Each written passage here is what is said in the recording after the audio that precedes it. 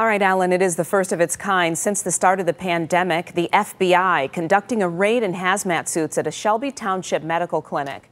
They're accused of using a fake treatment for coronavirus patients and even putting those patients in danger inside the clinic. The raid happened at the Allure Medical Spa on 26 Mile Road near Van Dyke. 7 Action News reporter Jim Kiertzner is out there with more.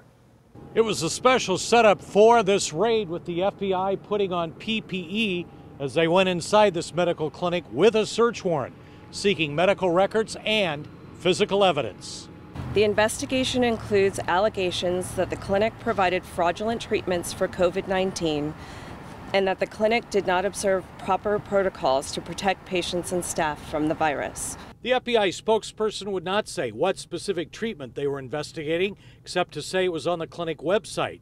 And we found this posting. We have been using intravenous vitamin C therapy to treat COVID 19 and non hospitalized patients with great results. The founder of Allure Medical is Dr. Charles Mok, who was on Channel 7 promoting a book about helping women get through menopause with testosterone treatments. And we're trying to get the word out that this is a safe option for women. You don't have to suffer through symptoms of menopause. Mm-hmm. Our efforts to reach the doctor today were not successful. It's not known how many patients may have gotten the vitamin C COVID 19 treatment or how many patients may have been exposed to COVID 19 in the clinic. If any patients or staff have concerns about their health or exposure to COVID 19, we urge them to contact a trusted health care provider immediately. The marquee name on this building is McLaren Medical, but McLaren says the clinic just rents space.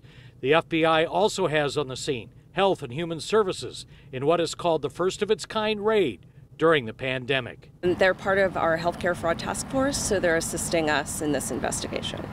The FBI says this investigation continues. No one has been taken into custody.